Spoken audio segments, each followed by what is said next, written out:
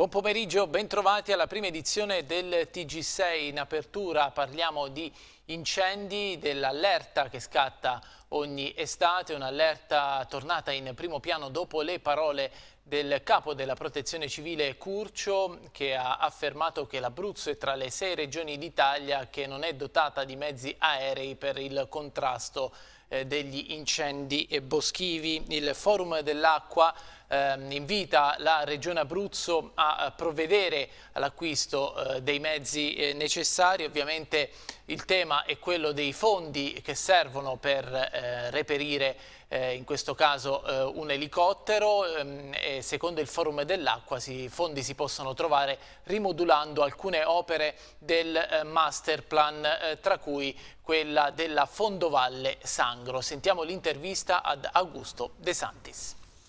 Qualcuno con la mente è tornato indietro a qualche mese fa alla tragedia di Rigopiano, spostando l'attenzione sugli incendi questa volta e non sulle valanghe. L'Abruzzo, almeno stando anche le parole del capo della protezione civile Curcio, sarebbe tra le regioni non dotata di un elicottero e di, un, insomma, di tutto quello che serve per il piano antincendi. Sì, la Regione Abruzzo, secondo quello che ha detto Curcio, è priva di mezzi aerei per lo spegnimento in emergenza degli incendi più gravi. Io voglio ricordare che nel 2007 questa regione è stata devastata da incendi veramente pazzeschi che hanno distrutto un, decine e decine di migliaia di ettari di eh, bosco. Eh, ovviamente ci sono problemi di tutela della pubblica incolumità e presentarsi all'appuntamento estivo, peraltro con una stagione molto secca, senza i mezzi eh, adeguati appunto ci fa ricordare brutte storie che purtroppo questa regione ha vissuto eh, recentemente. Ecco, essere impreparati non è più possibile perché i rischi ambientali li conosciamo e quindi bisogna eh, approntare tutti i mezzi eh, per poter fronteggiare queste emergenze perché poi in Portogallo è accaduto una vera e propria tragedia. Chiaramente un elicottero non si compra dalla sera alla mattina e eh, ci vogliono fondi per poter eh, acquistarlo. Dove reperirli? Magari cambiando il master plan, prendendoli da opere forse sovradimensionate. Sì, il master plan contiene opere faraoniche eh, da costi spropositati, ci sono anche delle opere che si dovrebbero anche fare, parliamo della Fondo Valle Sangro, però se i costi standard europei sono 6 milioni di euro a chilometro e la Fondo Valle Sangro ne viene a costare 36 milioni di euro a chilometro, neanche fosse un'autostrada, un beh lì vuol dire che c'è un errore. L'errore è stato spostare il tracciato da una zona a basso rischio frana a una zona a massimo rischio idrogeologico, questo fa capire anche la follia delle eh, procedure. Beh, questo ha fatto esplodere eh, i costi eh, che sono a mio avviso insopportabili e, e va cambiato il master plan dando poche risorse dove serve ovviamente, però spostandole sulle vere priorità che sono il risanamento del territorio, la bonifica, la prevenzione di disastri ambientali, anche la messa in sicurezza di scuole ed ospedali. Queste sono le vere priorità di, questa regione, il master plan purtroppo va nella direzione opposta. Ed ora una notizia di cronaca, sale sull'auto di un cliente eh, di 73 anni con cui aveva contrattato una prestazione sessuale ma poco prima ehm, eh, di salire intima all'uomo di fermarsi e sotto la minaccia di una siringa si fa consegnare il portafogli con 180 euro. Protagonista una 19enne pescarese già indagata per furto e truffa e sottoposta agli arresti domiciliari con eh, l'accusa di eh, rapina aggravata. La misura cautelare eseguita dal personale della sezione antirapina della squadra mobile della questura di Pescara è stata emessa dal GIP eh, del Tribunale Adriatico eh, Gianluca Sarandrea su richiesta del pubblico ministero della Procura di Pescara Barbara Del Bono. La giovane è stata identificata come responsabile della rapina compiuta in Viale Tiburtina lo scorso 29 maggio grazie all'esame delle immagini di alcune telecamere di videosorveglianza e alla testimonianza eh, della vittima che ha fornito descrizioni accurate. Adesso andiamo a Montesilvano, dopo un lungo tira e molla i 20 africani ex inquilini delle palazzine di via Ariosto hanno dato parere favorevole alla sistemazione alternativa proposta dal sindaco Maragno ieri sera sono stati accompagnati nelle strutture Caritas di Pescara. Sentiamo Andrea Costantini. Da ieri sera hanno deciso di farsi ospitare a Pescara in strutture gestite dalla Caritas. Sembra dunque rientrare l'emergenza degli sfollati del ghetto di Via Riosto a Montesilvano, che dopo un tira e molla durato diversi giorni hanno avallato la nuova sistemazione. Non sono mancati momenti di tensione in questo periodo, da quando, lo scorso 31 maggio, a seguito di una vasta operazione interforze sono state sgomberate le palazzine di Via Riosto occupate da africani, per lo più senegalesi.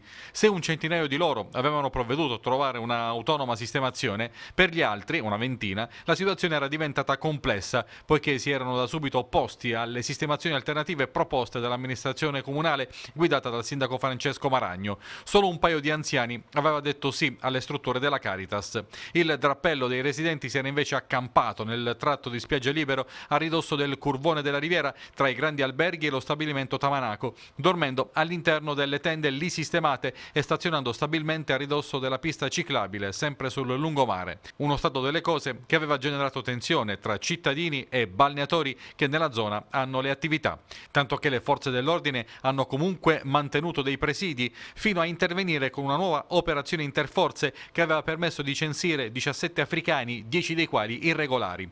Proprio mentre il sindaco Maragno si accingeva a utilizzare il DASPO di sicurezza urbana del decreto Minniti, la diplomazia ha avuto la meglio e nel tardo pomeriggio di ieri gli ex inquilini di via Ariosto hanno di nuovo incontrato il primo cittadino, hanno dato parere favorevole alla nuova sistemazione e sono stati accompagnati in pullman nelle strutture Caritas di Pescara. E adesso andiamo davanti all'ospedale di Pescara dove questa mattina c'è stato un sit-in di protesta di sindacati e lavoratori delle società dei servizi, in particolare in questo caso di quelle che lavorano all'interno dell'ospedale di eh, Pescara. Vediamo insieme il servizio. Sono più di 49 mesi che non si riescono a rinnovare i contratti nazionali del settore del pulimento, della ristorazione collettiva in particolare. Perché sta avvenendo questo? Non perché abbiamo chiesto aumenti salariali spropositati, ah, ci siamo mantenuti proprio nello stretto necessario. Ciò che le aziende non vogliono sottoscrivere è riconfermare i diritti dei lavoratori, la tutela dei lavoratori. Con la scusa di dover risparmiare cercano di abbassare queste tutele. Il settore pubblico paga contratti salati compreso il costo del personale alle imprese, le imprese risparmiano sulla pelle dei lavoratori e sulla pelle dei cittadini. Questa è la verità e per questa ragione noi protestiamo. Qual è il clima che si vive all'interno delle aziende? Ma eh, i lavoratori sono stanchi e stressati perché come diceva il collega loro sono sottoposti a cambi di appalto frequenti, abbiamo appalti grandi come questo la ASL che è comunque una scadenza triennale per cui il lavoratore ogni 2, 3, 4 anni è costretto a rivedere proprio, la propria condizione lavorativa. La clausola di salvaguardia ehm, rende l'occupazione garantita ma, ma neanche la qualità dell'occupazione, quindi noi spessissimo ci troviamo a dover difendere anche il salario. Sono oltre un milione e mezzo in Italia che attendono questo rinnovo rinnovo contrattuale che noi riteniamo debba assolutamente in questo momento essere confermato. Dei fatti vengono definiti lavoratori invisibili perché comunque lavorano nei momenti in cui nessuno li vede e garantisce sia esso per quanto riguarda l'igiene degli ambienti dove altri lavoratori poi durante la giornata svolgono le proprie attività e sia per quanto riguarda le attività che siano esse ospedaliere o scolastiche o di imprese pubbliche o private che comunque servono a garantire quel minimo di mantenimento di diritto sia per se stessi che per altri lavoratori. Dobbiamo tener conto che sono tutti lavoratori part-time che lavorano 2, 3, 4 ore al giorno e molto spesso le imprese cercano e tentano di fare più riprese lavorative, da una, due a tre riprese lavorative.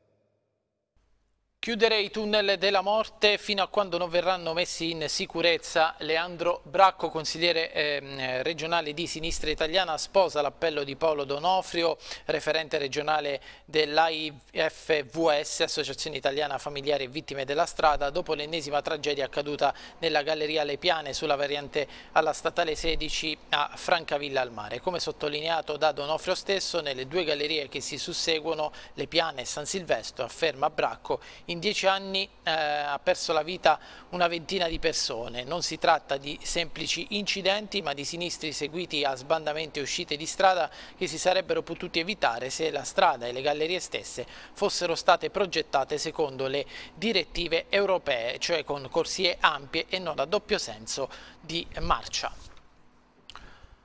L'associazione Pescara Mi Piace torna a puntare l'attenzione sulla balneabilità del mare di Pescara e per farlo eh, porta l'attenzione dei dati eh, su eh, analisi effettuate eh, dall'ACA, questa volta e non dall'ARTA, eh, che rivelano eh, problematiche nella zona della Madonnina, nei pressi del porto canale. Andiamo a vedere insieme il servizio.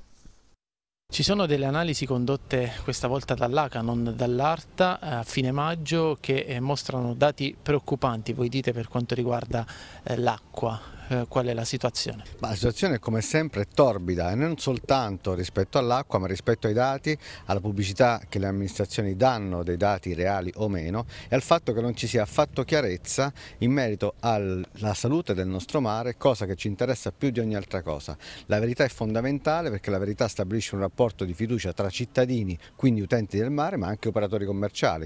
Noi sappiamo che il 25 maggio ci sono stati dei versamenti importanti per apertura delle famose pompe pompe di sollevamento, l'ACA questa volta e non l'ARTA, non sappiamo perché, ha effettuato delle analisi, queste analisi sono rimaste segretate o quantomeno non pubblicate, da queste analisi sembrerebbero emergere risultati molto preoccupanti, il sindaco pochi giorni dopo annuncia un mare pulito e splendido. Noi ci auguriamo che sia così come dice il sindaco, ma non riusciamo a eh, comparare i risultati che abbiamo eh, pubblicati, anzi non pubblicati dall'ACA, con le dichiarazioni del sindaco che non sono supportate da alcun documento. Per questo chiediamo all'amministrazione, all'ACA, all'ARTA, al sindaco qual è lo stato reale di salute del nostro mare. Quali sono i dati in vostro possesso? Allora, i dati sono allarmanti perché i risultati del 25 maggio, prelievi fatti proprio in questo posto davanti alla pompa B0 alle 7.30 del mattino parlano in una piccola provetta di 100.000 escherichia coli in microgrammi per metro cubo, quindi è un dato allarmante 20 volte oltre il limite previsto dalla legge. Sono stati concessi altri 15 giorni di tempo per eh, presentare le domande relative al bando Fare Centro che ha il fine di ricollocare attività produttive all'interno del centro storico eh, dell'Aquila. Finora sono 30 le istanze già inoltrate. Sentiamo Daniela Rosone. 30 le istanze depositate per ora per il bando Fare Centro, ma verrà prorogata di 15 giorni, fino a metà luglio, la scadenza per la presentazione delle istanze.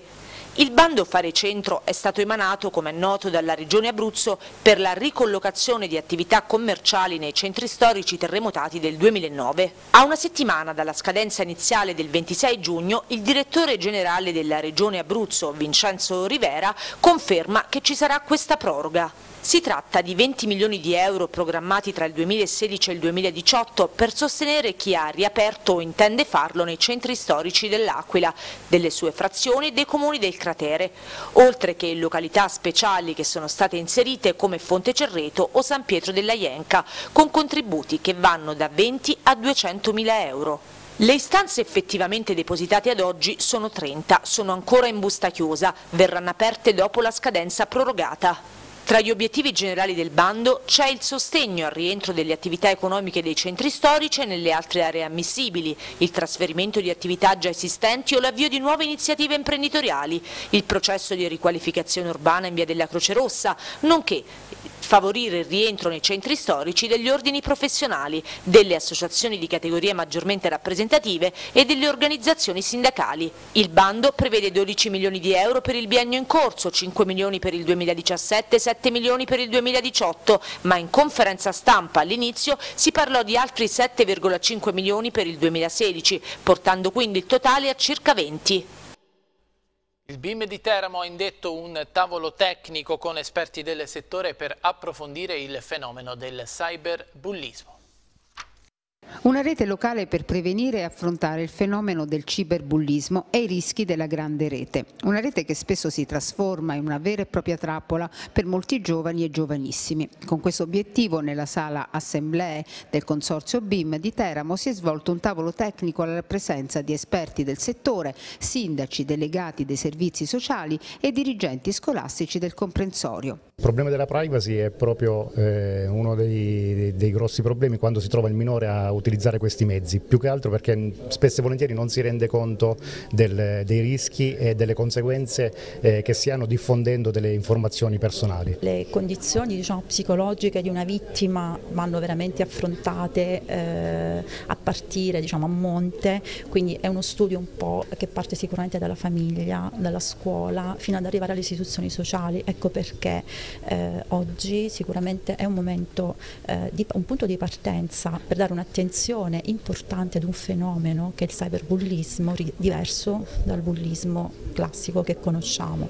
Quindi la vittima è una vittima sola, fondamentalmente, si ritrova sola rispetto ad una vittima di bullismo classico, quindi fisico, perché deve combattere contro eh, l'anonimato, quindi contro la rete, contro l'infinito, per cui eh, c'è bisogno di una, diciamo, di una condizione sociale molto forte che avvicini le istituzioni, le famiglie, la scuola per al di là di proteggere e quindi evitare che uno su dieci vittima di cyberbullismo arrivi al suicidio, cioè questa è una condizione tragica eh, prima di questo bisogna prevenire. Nell'ambito del ciberbullismo il Consorzio BIM di Teramo, oltre a mettere a disposizione ampie conoscenze e competenze su questi temi nel territorio, supporta l'iniziativa promossa dalla The Circle in collaborazione con l'associazione Project San Gabriele. Si tratta di un tema di grandissima attualità, eh, il nostro supporto come Consorzio BIM per creare per l'appunto una rete che sia uno strumento operativo assolutamente efficace,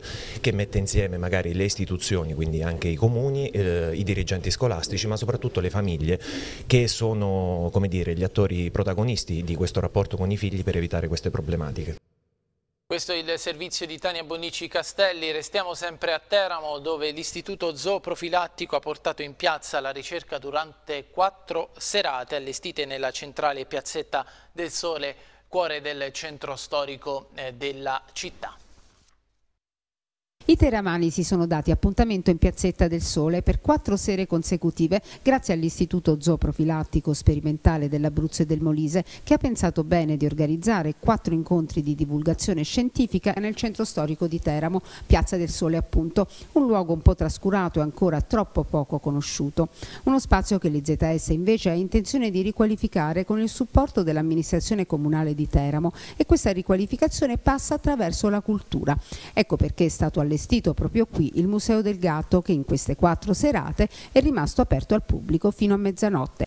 I quattro appuntamenti in piazzetta sono stati un'occasione di dialogo con i cittadini per presentare in maniera divulgativa alcune delle attività che l'Istituto svolge per il benessere la sanità animale, la sicurezza alimentare e ambientale.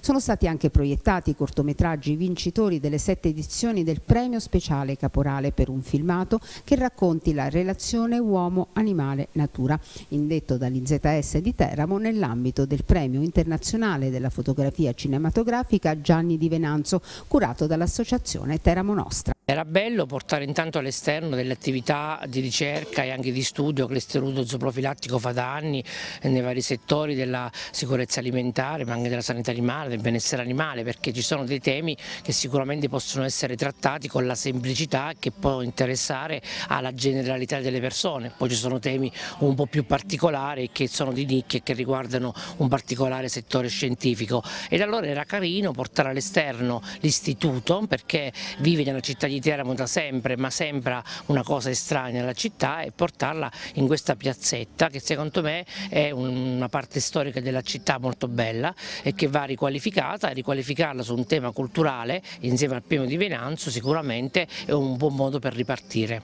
Un successo dunque questa formula tra divulgazione scientifica, cultura e cinema curata dall'IZS di Teramo che ha avuto l'idea di far uscire fuori dai laboratori la ricerca e portarla in piazza affinché tutti ne potessero potessero godere. Più attenzione per eh, il centro della città e eh, in particolare per Piazza d'Armi all'Aquila, è quello che chiedono i eh, commercianti al prossimo sindaco del capoluogo di regione. Vediamo. Siamo nel mercato di Piazza d'Armi, il punto di incontro di unione dei commercianti aquilani che prima del terremoto eh, vendevano in Piazza Duomo nel cuore della città. Lo facciamo periodicamente, siamo venuti a chiedere come vanno le cose. Eh, da più voci si leva una richiesta, anche per quella che sarà l'amministrazione che verrà, di realizzare finalmente all'Aquila un mercato coperto. I commercianti infatti, soprattutto l'inverno, si sentono penalizzati. Quello del mercato coperto continua ad essere un desiderio per i commercianti di Piazza D'Armi d'armi. Se le cose in estate vanno meglio e qualche affare in più lo si fa, in inverno le difficoltà per una città come l'Aquila sono notevoli e così per gli ambulanti che spesso non possono montare neanche le loro bancarelle a causa delle condizioni atmosferiche. Eh, il mercato di Piazza d'Armi diciamo che attualmente mm, con la chiusura delle scuole va un po' a rilento, eh, c'è da dire che noi siamo molto penalizzati quando c'è brutto tempo, quindi avremo anche bisogno proprio una un bisogno repellente di una copertura del mercato, altrimenti le cose non è che vanno tanto bene. Al futuro sindaco della città dell'Aquila una serie di richieste, magari più attenzione per la categoria. Siamo a pochi giorni dal ballottaggio che decreterà il nuovo primo cittadino di questa città, eh, saranno anni impegnativi, l'Aquila è impegnata nella ricostruzione. Voi avevate diversi progetti, il mercato coperto e quant'altro. Quali impegni chiederete come, come categoria al nuovo sindaco? Allora, al nuovo sindaco gli chiediamo di mettere dei navetti al mercato, che sono molto importanti perché i nostri clienti eh, cercano le, le, navette che se ne vedono ben pochi in, tutti, in tutte le parti, eh, ma al mercato soprattutto perché c'è eh, persone anziane che vogliono venire al mercato e sono molto fiduciosi del, del nuovo sindaco che sarà o uno di destra o di sinistra che verrà a governare questa città, speriamo eh, la persona più giusta. Galline in centro storico a Lanciano, i residenti sono infuriati con un piccolissimo allevamento tenuto da una signora all'interno della sua abitazione. Vediamo. Quelle che vedete sono comuni galline, quello che non sapete è che sono allevate in pieno centro storico a Lanciano. A mostrarcele dalla finestra di casa sua è la signora Nunzia, una dei residenti del Vico 44 Garibaldi nel quartiere Santa Giovina. Con l'arrivo della bella stagione però l'odore degli escrementi insieme a quelli prodotti dagli onnipresenti piccioni e dai tombini intasati hanno reso l'aria del Vico irrespirabile, con la conseguenza che diventa impossibile aprire finestre e balconi. Ma a preoccupare i residenti è anche l'instabilità di un edificio edificio disabitato e abbandonato da decenni e pericolante. Il temporale di sabato scorso ha provocato il distacco della grondaia. Sul posto sono giunti i vigili del fuoco che però si sono limitati a posizionare due transenne per segnalare la zona di pericolo. Nel corso della mattinata, intanto, due tecnici del settore politiche ambientali hanno effettuato un sopralluogo, scattando fotografie anche alle galline. Ora, per i residenti, non resta che sperare che l'amministrazione comunale faccia finalmente del suo meglio per trovare una soluzione, magari prima che d'estate scoppi e la puzza diventi davvero insopportabile. Anche quest'anno in occasione del Corpus Domini a Castilenti è stata organizzata la cosiddetta infiorata. Vediamo di cosa si tratta nel servizio dei colleghi di Vestina News. L'Infiorata è una bellissima manifestazione che si svolge a Castilenti ogni anno in occasione del Corpus Domini. L'infiorata che vedete su questa via viene fatta da infioratori non professionisti ma che sono diciamo, delle persone normali di Castilenti, mamme di famiglia, ragazzi che seguono il catechismo e giovani che frequentano la parrocchia e che ogni anno scelgono i quadri da, eh, diciamo, da fare e con notevole lavoro che comincia anche due settimane prima cercano di infiorare al meglio questa via. Quest'anno è stato dedicato al 18 gennaio 2017 alla immane tragedia che ha colpito una delle zone vicine a noi, Rigopiano, e a tutti i ragazzi che sono morti in quella tragedia. Per questa festa dell'infiorata nel giorno del Corpus Domini che la Chiesa celebra dal XIII secolo, quando eh, nella Chiesa, all'interno della Chiesa c'era questa riflessione su se in quel pane, in quel vino c'era veramente la presenza reale di Gesù. Allora questa festa è stata istituita in quel tempo nella Chiesa per ridire che in quel pane, in quel vino che noi vediamo dopo la consacrazione, lì c'è veramente il corpo e il sangue di Cristo, come? Poi a seguire i miracoli eucaristici a partire dal primo che nella storia che è quello di Lanciano, poi ha fatto realmente vedere Ed ora apriamo la pagina sportiva, iniziamo parlando del Pescara, Mamadou Koulibaly potrebbe diventare un nuovo calciatore dell'Inter. Dopo eh, quello di ieri un nuovo incontro nelle ultime ore potrebbe portare alla ratifica dell'accordo. Dal club nerazzurro potrebbe arrivare a Pescara Marco Carraro, recente vincitore del eh, titolo eh, Primavera. Sentiamo Andrea Costantini. E all'improvviso è sbucata l'Inter. Mamadou Koulibaly, il gioiellino senegalese del Pescara, appetito da mezza Serie A, potrebbe finire proprio al club nerazzurro dopo l'incontro avuto ieri a Milano dal presidente Sebastiani con la dirigenza interista. Bruciata dunque la folta concorrenza con Juventus in primis, ma anche Milan, Atalanta e Sampdoria che nelle scorse settimane avevano chiesto informazioni su Koulibaly, dandosi appuntamento a futuri incontri. Invece l'attacco sferrato ieri dall'Inter ha lasciato il segno e nelle prossime ore è previsto un nuovo incontro incontro per la chiusura. Si rinforza dunque l'asse Pescara-Inter, lo stesso che lo scorso anno aveva portato allo sviluppo della trattativa per la cessione di Caprari e l'arrivo di Biraghi a titolo definitivo e di Manà in prestito. Koulibaly finirebbe in nerazzurro con la formula del prestito con diritto di riscatto per l'Inter. Tra le contropartite dell'operazione l'approdo a Pescara di Marco Carraro, centrocampista classe 98, fresco di titolo con la primavera di Stefano Vecchi. Sempre con l'Inter il Delfino aveva già definito in linea di massima l'approdo approdo in riva all'Adriatico della mezzala Andrea Palazzi, lo scorso anno sempre in B alla Provercelli e l'asse potrebbe portare altri risultati perché se è molto difficile arrivare al centrale Zigno Van Oisden non è affatto tramontata l'ipotesi del prestito del terzino Federico Vaglietti.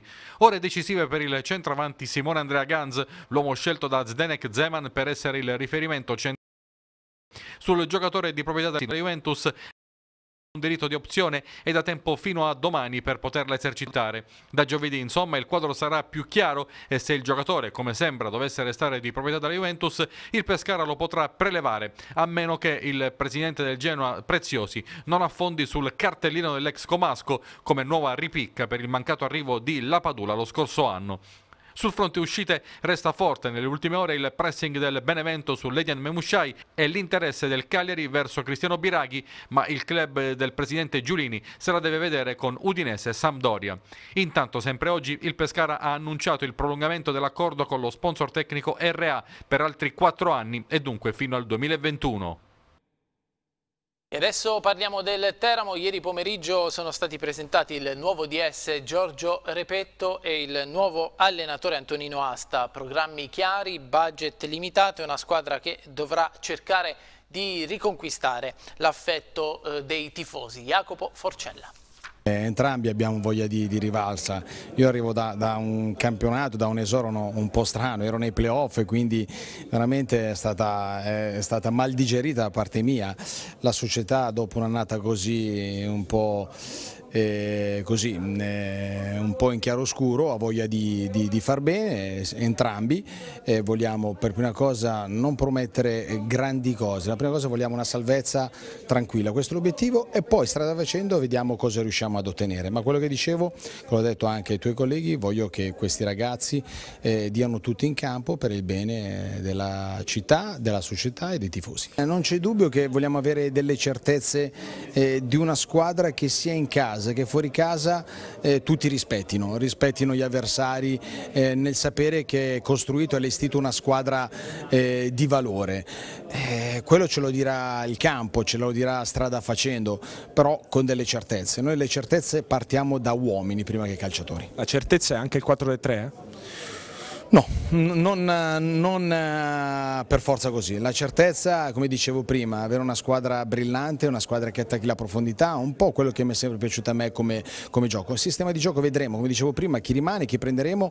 Eh, ho giocato spesso col 4-3-3, 4-3-2-1 che mi intriga ancora, ancora di più e questo lo vedremo solo giorno, giorno dopo giorno in base alla squadra che andiamo ad allestire. Possiamo dire che quello che ci si aspetta è un Teramo che se negli ultimi ultimi anni era stato in lizza per i primi posti, adesso potrebbe essere la mina vagante, sbagliamo? Speriamo, io spero che possa essere la mina vagante, però oggettivamente partiamo con insomma, un handicap discreto cioè, che è composto, cioè che, che il fatto rilevante è proprio eh, composto da questi 16 contratti in essere e chiaramente non è che a noi i 16 giocatori non ci interessano, noi 5, 6, 7, 8 ci interessano, però per poter poi andare a prendere quelli che possono servire all'idea di gioco dell'allenatore abbiamo bisogno di levare quelli che non vanno bene né per la piazza né per l'allenatore.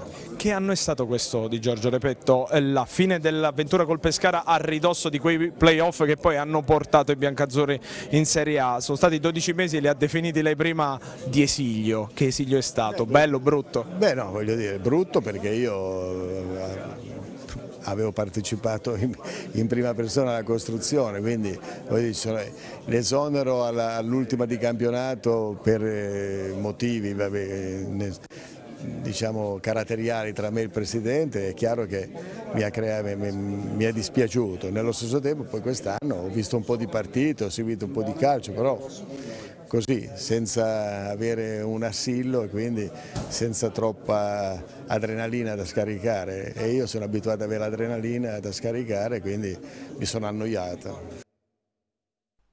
Dopo aver lasciato il Francavilla, l'imprenditore Fabio De Vincentis è pronto a intraprendere una nuova sfida, sfida alla guida del eh, Lanciano 1920. Ieri il neopresidente è stato presentato alla città nella casa di conversazione davanti a centinaia di sportivi rossoneri. La squadra dovrebbe partecipare al campionato di prima categoria, ma De Vincentis e i tifosi confidano nel ripescaggio in promozione.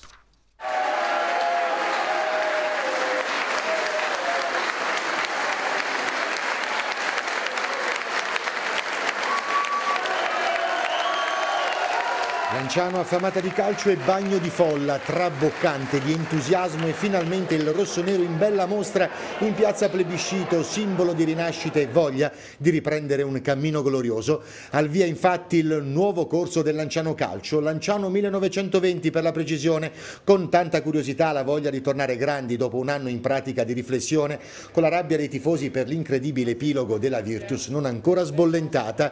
Nell'ex casa di conversazione ecco il neopresidente presidente rossonero l'imprenditore Fabio De Vincentis che ha incontrato per la prima volta pubblicamente ufficialmente il popolo rossonero spiegando i motivi della decisione di lasciare Francavilla, obiettivi e speranze adesso alla guida del club lancianese. Insieme a De Vincentis i soci tenaci dell'associazione Lanciano Rossonera che hanno preso per mano il marcianese per poi fondare il Lanciano 1920 progettare e poi il sindaco Pupillo, bello l'applauso scrosciante alla signora Angelucci simbolo di un passato glorioso e di stile. E con il Presidente sono arrivati anche Antonio Paciarella e Francesco Di Gennaro, parte dello staff tecnico che collaborerà gomito a gomito con De Vincentis. L'obiettivo è solo uno, far tornare grande il Lanciano. Presidente De Vincentis, innanzitutto quanta emozione? L'emozione ci sta, ma è giusto che ci deve anche stare perché in un percorso del genere non farsi prendere un po' dall'emozione significa essere veramente uno abbastanza cattivo con se stesso. In certi casi lo sono pure, però è giusto che per una piazza come Lanciano e la mia neopresidenza le giuste emozioni ci devono essere, quindi me lo anche gusto. Perché ha abbracciato il rosso-nero? Ma perché prima cosa i rossoneri sono colori eh, importantissimi e su una scala di colori sono chi effettivamente va a primeggiare e al di là dei colori perché Lanciano è Lanciano, Lanciano ha la sua storia, Lanciano ha il suo perché e Lanciano è perché si può fare calcio in modo eh, diciamo, strutturato e nel tempo. Prima categoria ma la speranza è anche di ripartire boh, dalla promozione? Guarda, mm, diciamo oggi non possiamo dire nulla, è troppo embrionale questa, eh, questo tipo di risposta da parte mia perché il percorso per vedere il Lanciano in quale categoria gioca nell'anno 21 è ancora lungo da fare, quindi dovremo lavorare per cercare almeno, almeno di poter dare la categoria superiore, se no ripartiamo dalla prima categoria, quello che ci compete.